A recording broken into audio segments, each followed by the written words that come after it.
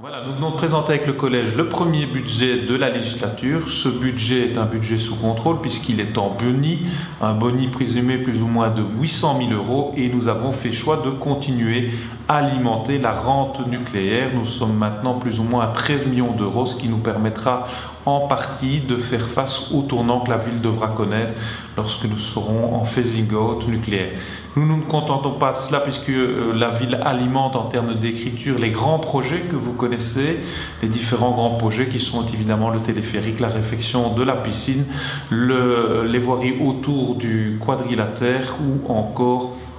les euh, différents sites, dont euh, le site de Sainte-Catherine. Bref, euh, tout cela pour dire que le collège a mené, je le pense, un budget qui est un budget aussi de perspective, puisque nous allons donner dans les années à venir une perspective à la ville tournée sur le tourisme et le patrimoine.